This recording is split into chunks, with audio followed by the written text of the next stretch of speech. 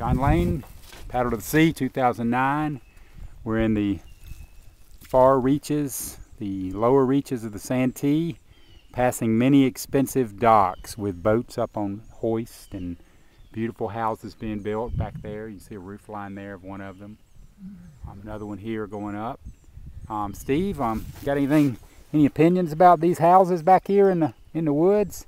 Well, John, you asked me if 30 years ago this Delta Island had been maintained for duck hunting, and I don't remember duck hunting being a big feature at that time. It certainly would have been in the 1920s.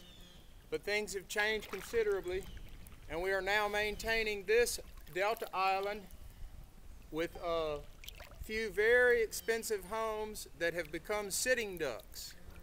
And after the next big hurricane, there'll be a loud outcry for taxpayers to pay for all of these structures. so we'll end up paying for it. Yep. All right, John Lane, Steve Patton signing off for Paddle of the Sea 2009, approaching 10 miles from the ocean.